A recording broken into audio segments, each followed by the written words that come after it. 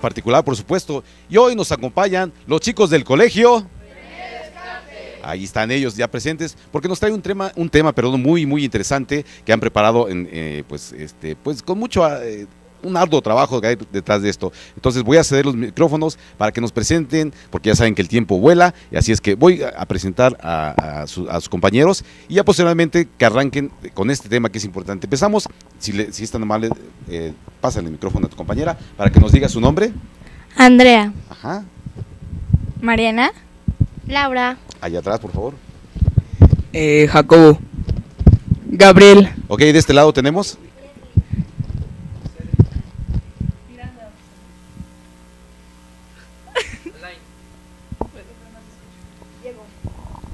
Ok, bueno, pues entonces ya los dejamos con, con los chicos del colegio para que nos hablen de este tema que seguramente va a resultar muy interesante. Por favor.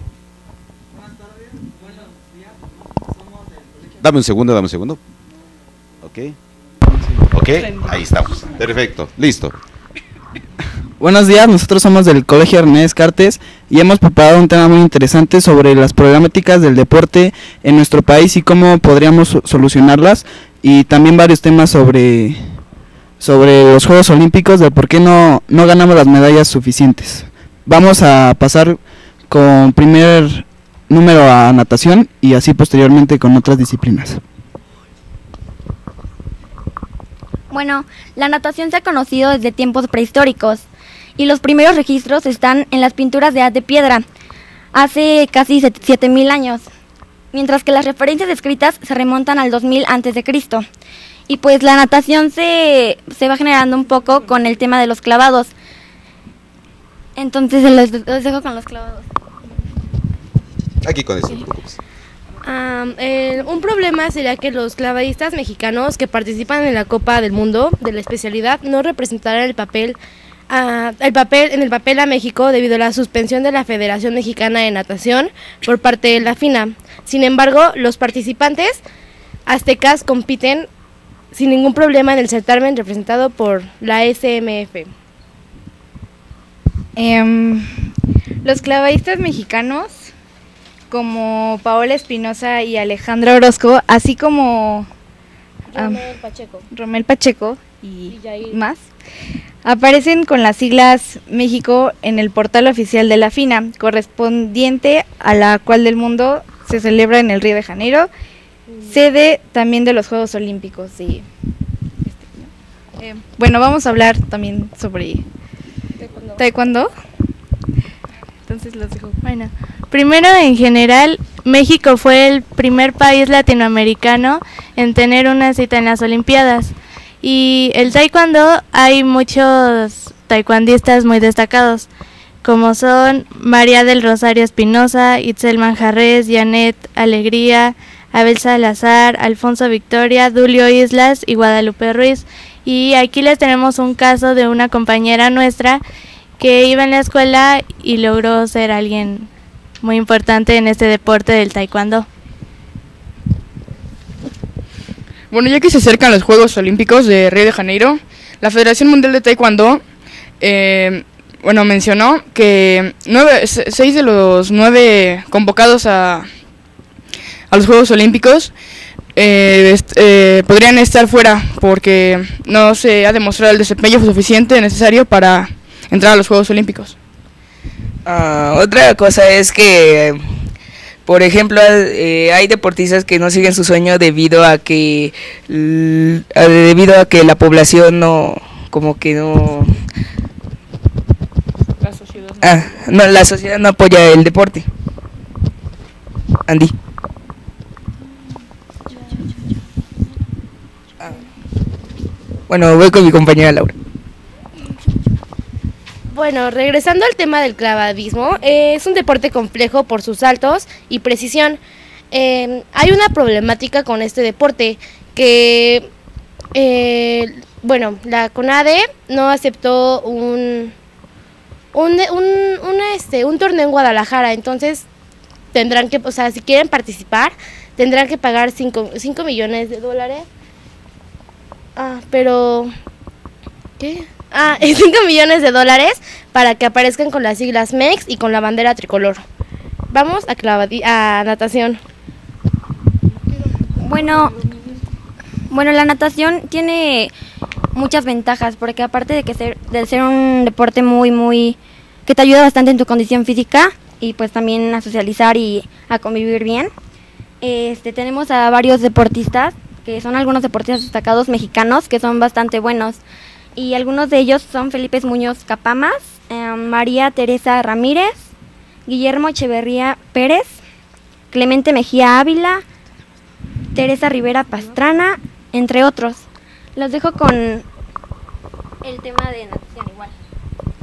Eh, también se podría mencionar, este, como mencionó mi compañera Leslie, am, se podría hablar específicamente de Felipe Muñoz Capamas, que ganó una medalla de oro en las Olimpiadas de México del 68 superando al soviético Vladimir Kosinski y asegurando su lugar en el Salón de la Fama Internacional de Natación. Los dejamos con mi compañero Diego. A ver, aquí le ayudo, no te preocupes. Es- mm, uno de los principales problemas dentro del fútbol es que los equipos grandes no le dan la oportunidad a los jóvenes de desarrollar su talento, ya que prefieren contratar extranjeros que vengan a mejorar sus números en lugar de ayudar al país a formar mejores jugadores. Sí, eh, se ha hablado mucho, bueno, en, en este tiempo, sobre que hay mucha polémica en estos años sobre los deportistas que están a punto de entrar a la primera división, pero que no les dan la oportunidad por el simple hecho de que es más un problema financiero, eh, así como de el dinero que puede generar ese jugador, en cambio pueden traer de otros países, como el caso de este André Pierre Gignac, que vino aquí, pero aparte de que es muy buen jugador, también se ha desempeñado en hacer mucho marketing para eh, ganar mucho dinero al equipo de Tigres. Otro de los problemas que presentan es que cuando un jugador se llega a consolidar ya como profesional, prefieren jugar por dinero, no tanto por, pues se puede decir que por amor a la camiseta, prefieren ganar más dinero en comerciales, promociones y todo eso a jugar para ayudar a su equipo. Ok, chicos, ¿tenemos algo más? Sí, por favor, ¿con quién vamos? Adelante, por favor, le prestas el micro. Bueno, regresando al tema de la natación, igual como dijo mi compañera, teníamos a Felipe Muñoz Capamas, que pues él ya- ella dio una pequeña información Acércate sobre él. Ah, igual que María Teresa Ramírez, ella ganó una medalla de bronce en 1968. Este Guillermo Echeverría Pérez eh, hizo un récord mu- mundial de 1500 metros a aire libre de velocidad. Y eso fue en 1968. En 1968. Mm, Clemente Mejía Ávila ganó el cuarto lugar en 100 metros de los Juegos Olímpicos en Londres de mil no- en 1948. Las dejamos con mis compañeras. Bueno, vamos a seguir con el taekwondo de una de nuestras compañeras de que bueno, es exalumna que ha ganado bra- varios premios en la parte de taekwondo. Este, como sabemos, México es potencia en taekwondo. En los Juegos Olímpicos, México ah, es- tiene muchos buenos resultados en los Juegos Olímpicos.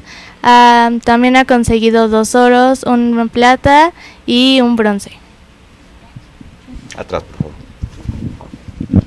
como dijo mi compañera de, de que México ha tenido un gran avance en el taekwondo, yo pienso que en estos próximos Juegos Olímpicos eh, sí ganarían algunas medallas de oro o plata en, en taekwondo.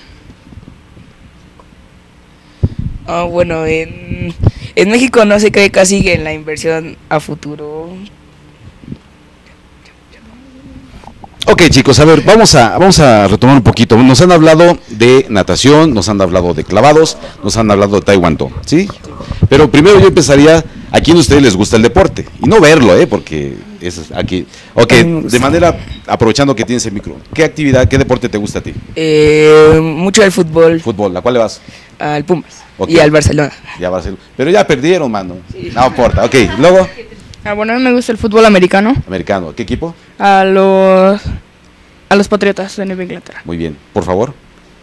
¿Qué deporte te gusta? A mí me gusta el fútbol soccer y le voy al América y al Real Madrid. Ok. Bueno, yo soy porrista. Ah, mira, qué bien. eh, pues sí, la verdad me gusta mucho el deporte. Perfecto. Bueno, ¿Es, de equipo, perdón, ¿Es de equipo de americano? No, no, no, son equipos aparte de Ok. porrismo. A Muy mí me gusta el fútbol americano igual y le voy a los Dallas Cowboys. Ok, perfecto. De este lado, vamos a ver. Bueno, no es un deporte muy destacado, pero a mí me gusta mucho la gimnasta. ¿Tú la practicas, la gimnasia? No la gimnasta, pero sí el ballet, pero aquí en México casi no es tanto el ballet. Ok, muy bien, por favor. Este, yo juego fútbol soccer, ¿Qué posición juegas? volante de contención. Ok, ok. ¿Quién consideras o quién te gusta a ti de- a nivel in- eh, nacional o internacional como mejor jugador? Me gustan mucho los jugadores del Barcelona, Iniesta y todos uno? ellos. Iniesta. Iniesta, muy bien. Por favor. Yo así en de- deporte en particular no, pero a veces me gusta correr. Y ah, yo disfruto mucho en- cuando se- ocurren las Olimpiadas, este, ver las, las competencias. Perfecto. A ver, de este lado, por favor. Eh, mi deporte, pues practico fútbol y le voy al Guadalajara. ¿Qué posición te gusta jugar? De lateral derecho. Ok, por favor. Bueno, a mí, yo, a mí también me gusta el fútbol, eh, le voy al Pumas y al Real Madrid y practico la posición de defensa central. Defensa, muy bien. Ok, chicos, a mí me gustaría saber, ahora que comentaron y ya, ya que te adelantaste, te adelantaste un poco, eh, en cuestiones, en cuestión de Juegos Olímpicos, yo les preguntaría, ¿ustedes por qué creen que México destaca más en actividades personales que en, en acti- o individuales, perdón, que en equipo? ¿Por qué se les ocurre? Bueno, bueno, a mí se me ocurre porque como el fútbol es algo muy comercial, eh, normalmente en, el- en los deportes como taekwondo, natación, todo eso sí le ponen empeño y sí lo hacen por amor, más que por estar en el negocio del, bueno, sí, de ganar mucho dinero, entonces, por, es por esa simple razón. de este lado, ¿por qué piensan? Ah, por ejemplo, en los deportes como gimnasia rítmica o gimnasia artística, normalmente son individual. Y es porque ah, personalmente las gimnastas tienen como que maneras de hacer sus movimientos o hacer las cosas. Entonces, por ejemplo, si una gimnasta rusa lo hace mejor que una china, pues ya es como que ya es personal, o sea, el deporte que a cada quien le rige mejor. ¿Tienes algo? Sí, por favor. Ah, bueno, yo creo que es porque a veces desde pequeños no les enseñan a trabajar en equipo y como que no se coordinan bien unos con otros. Y pues a veces son mejores solos o son mejores en equipo. Cada quien tiene su propio su propia forma de ser. Fíjate que hacia allá iba precisamente mi comentario. Hay quien dicen, como bien eh, nos comentaba, que tenemos esta problemática eh, como país que no sabemos trabajar en equipo. A lo mejor ustedes cuando están jugando y ven que está solo frente a la portería y dice, manda el pase y el otra persona, por querer anotar, a veces hace ese tipo de cosas, ¿no? Y bueno, ese es uno... Exactamente, ¿verdad? Exactamente. Hay quien dice que tenemos esta, no sabemos trabajar en equipo. Ahora, eh, regresando un poco a esta actividad de la natación, eh, tenemos muy, gra- eh, muy importantes representantes en esta disciplina. Taekwondo también me lo mencionabas, es, es este. Pero si se dan cuenta, a nivel olímpico, las, la- las medallas de las que se han obtenido mejores resultados han sido disciplinas eh, individuales, boxeo, caminata, eh, levantamiento de pesas, etcétera, ¿no? Ahora, eh, en el caso de eh, Ah, clavados, los clavados tienen, eh, pues evidentemente se van calificando por grados de dificultad. ¿Cómo se imaginan o cómo se sentirían ustedes así de manera particular el hecho de ver ondear su bandera con el himno sonando y la gente aplaudiendo? ¿Cómo cre- qué, qué creen que pase por la mente de esos atletas? Que, que guste, por favor. Un orgullo, Así yo es, creo. ¿no? Un orgullo el estar ahí y ganar por tu país. ¿Ok? ¿Sí, dinos? Yo creo que, pues sí, como lo dijo Cedric, mucho orgullo y emoción, ¿no? De estar ahí, que la gente te esté aplaudiendo y creo que lo más importante, haciendo lo que más te gusta y que aparte te lo aplaudan y así, ¿no? Perfecto. Ah, por favor. Ah, bueno, yo si fuera un clavadista y, ve- y viera así que colgara mi bandera y em- empezara a sonar mi himno nacional, yo me sentiría muy orgulloso de mi país y me imaginaría a todas las personas ahí, todos brincando ahí en las televisiones. Claro. Bueno, yo si estuviera eh, viendo mi bandera y con el himno, eh, me sentiría muy orgulloso de, de tanto esfuerzo y trabajo que hice para llegar a este momento y que lo pudiera aprovechar, ya que estoy muy... que estoy aquí en, los- en el... que estoy aquí en los Juegos Olímpicos. ¿Ok? Sí, por favor. Bueno, yo creo que sería una sensación única, un sentimiento único, porque tal vez sería algo muy especial para ti, porque tanto esfuerzo y tanta dedicación a, por ejemplo, en este caso el clavadismo, eh, y que cuelguen tu bandera y canten tu himno nacional, se sentiría muy orgullosa, muy orgullosas las personas y más si eres una persona única. Y pues muy muy feliz porque es una dedicación única hacia un deporte, en especial el que más te gusta. Perfecto. Eh, si bien ustedes me, me de- comentaban que sí les gusta el deporte, pero ¿por qué ustedes chicos, por qué creen que otros, otros eh, chavos de su edad no les guste tanto? ¿Por qué a algunos jóvenes no les gusta practicar algún tipo de deporte? Empezamos contigo, estamos contigo, por favor. Este, yo creo que porque dicen que el mayor de, lo- de los vicios es la flojera y yo pienso que sí es cierto. Porque al no tener flojera tú, tú haces deporte y te enfocas en algo que te diviertes, te desahogas, este, te ayuda a muchas cosas, es, te libera depresiones, es muy divertido, obviamente un deporte que te gusta. Y si no lo haces te vas a ir más por adicciones, cosas que realmente no te van a servir para nada. En cambio el deporte te deja muchos beneficios en tu vida personal y colectiva, aprendes a muchas cosas. Ok, por favor. Ah, bueno, eh, yo digo que más por la tecnología, ah, pues ya más por la tecnología de ahora que ya como que nos, mm, como que nos desvía de algunas cosas de deporte, así que como antes eh, los niños de antes jugaban así otros juegos en la calle y ahora ya, ahora ya invitan a su casa a jugar videojuegos y eso. Ok, y entonces, hablen de beneficios del deporte. ¿Cuáles beneficios creen, ya han mencionado algunos compañeros, qué beneficios se pueden obtener a partir de desarrollar cualquier disciplina? Por favor. Si le, ah, por Ah, favor. bueno, por ejemplo, en el caso de porristas, no te desarrollas físicamente, pero hay diferentes posiciones como flyer, gimnasta o lo que sea. En todo caso, se, por ejemplo, ah, por ejemplo, un, hay diferentes posiciones, saliendo desde el tema del fútbol. Uno es delantero, otro portero, otro otro Defensa, defensa, y todos tienen, o sea, como que objetivos diferentes. Que- ah, sí, todos tienen objetivos diferentes. Entonces, hay beneficios, ay, ¿qué? hay beneficios No me la distraigan, por favor. Ok. No, no te preocupes. Da- platícanos un poquito. Estamos con la disciplina de las porristas. Ah, sí, en las porristas, por ejemplo, hay diferentes posiciones como flyer, gimnastas. Entonces, cada quien se desarrolla. Por ejemplo, yo soy buena para saltos y yo soy buena para hacer giros y, o yo soy buena para brincar. Entonces, ahí es como, si es, obviamente es en equipo. Entonces, juntamos todos los, los recursos y pues se hace un, un buen deporte. Oye, ¿cuánto sería el número mínimo de, de- de una, de un grupo de porristas? Pues no hay un, un número fijo. Pueden, pueden ser hasta 15 personas, hasta 20. Ok. Eh, pues como mencionaba Laura, eh, pues las porristas pueden, son, es un, es un trabajo en equipo y es una disciplina que son dos, dos minutos 30 de, de canción, pero trabajas todo un año para que salga perfecto y salga, eh, para que salga todo en orden, no se caiga nada. Y pues yo creo que esa es la mejor disciplina, o sea, que tú le dediques el tiempo a lo que te gusta y a lo que amas para lograr llegar, le- llegar muy lejos ah, con tu equipo y con contigo misma. Ok, por favor. Ah, bueno, desviándonos un poco del tema de, de lo que estás hablando, eh, ahorita estamos haciendo en la escuela un torneo de fútbol americano y, y bueno, mi, mi profe de educación física me dijo que, que no hay que hacerlo por competencia, hay que hacerlo para divertirnos. Ok. Bueno, y a ver, quédate con el micrófono. ¿Tú qué piensas respecto a esto, de esta frase? Pues que sí hay que divertirnos, pero también un poquito de competencia.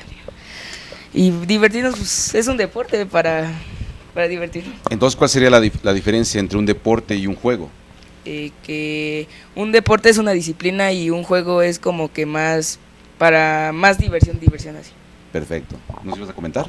Ah, como dice mi amigo Jacobo, que es para divertirnos, para tener una convivencia sana, para saber trabajar en equipo o que cada quien tenga una posición, no solo para ganar, ganar, ganar, sino también para divertirse o hacer o lograr a- hacer algo que tú no sabías que podías hacer.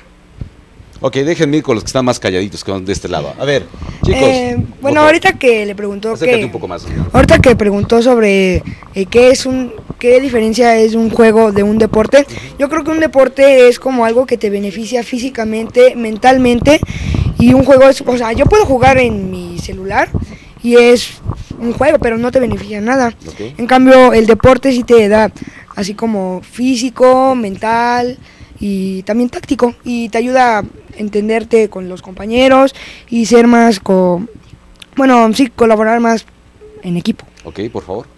Pues como comentó mi compañero, un deporte te ayuda a mm, desempeñar tus características en las que eres más fuerte y a ayudar a aumentar en las que eres más débil.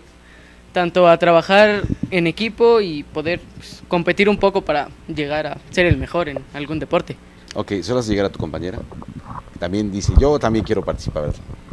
Bueno, algunos al- algunos beneficios, o sea, es una, puedes obtener una condición física bastante bien, tanto física y emocional, porque muchas personas dicen así como, ay, ¿de qué te ayuda eso si así? O sea, muchas personas tal vez lo ven como un hobby o algo así, pero realmente te ayuda a tu condición física y también a tu condición emocional.